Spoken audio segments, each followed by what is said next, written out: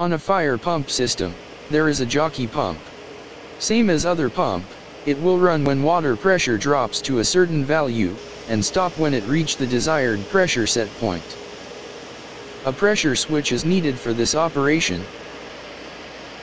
In this video, we will learn how jockey pumps works, and how to calibrate the pressure switch.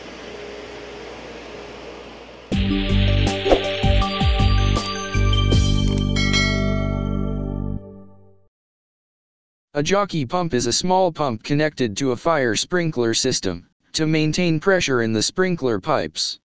This is to ensure that if a fire sprinkler is activated, there will be a pressure drop, which will be sensed by the fire pump's automatic controller, which will cause the fire pump to start.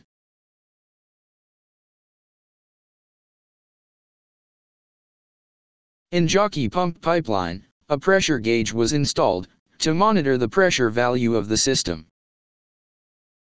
And right after the pressure gauge, a small pipeline was tapped to the main line, for pressure switch. And this is the pressure switch.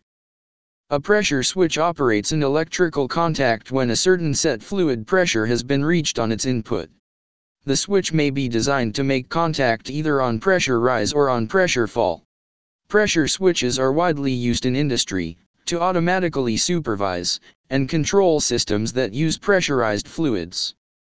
In this system, the cut-off pressure set point is set to 120 psi, and the cut-in pressure is 90 psi. Meaning, jockey pump will start pumping when water pressure in the pipeline is 90 psi, and it will stop when water pressure reach 120 psi. Okay, let's calibrate this Alco FF4 pressure controls. Alco FF4 series of pressostats are suitable for a wide range of industrial and commercial applications. The pressure of the monitored medium operates against a flat diaphragm, bellows, or a plunger, depending on pressure range.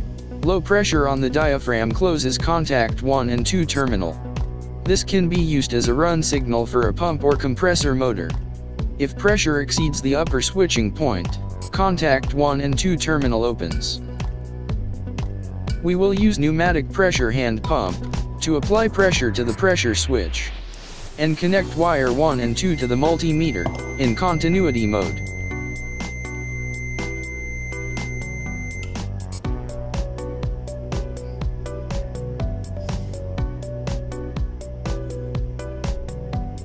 The terminal 1 and 2 get close contact at 40 psi. And open contact at 100 psi. Referring to the jockey pump cut-in and cut-off pressure, we need to adjust this pressure switch at 90 psi for cut-in, and 120 psi for cut-off.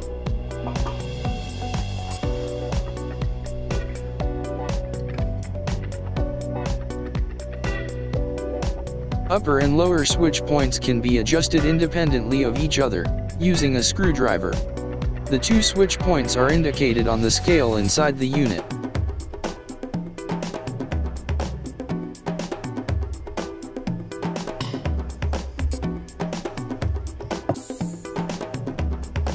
Okay, let's test it again.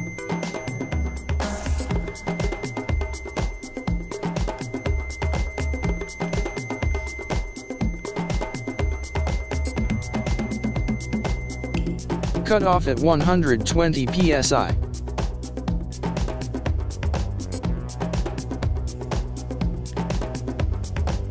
Let's release the pressure. And cut in, a little bit below 90 psi. Need a little more adjustment.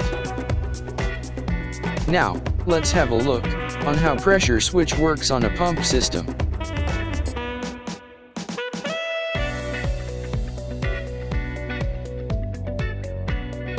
Pressure switch is in open contact status, if we run the system in manual, pump will run.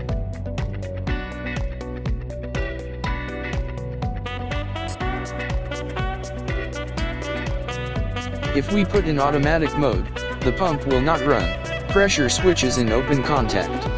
Meaning, the pressure in the system is in cut-off pressure value. And when the pressure drops, the pressure switch will close, and the pump will run. Please consider giving this video a thumbs up. Every time you hit a like button, you help us growing our channel. Subscribe as well to notify you when there's new video uploaded. Thank you very much and have a good day.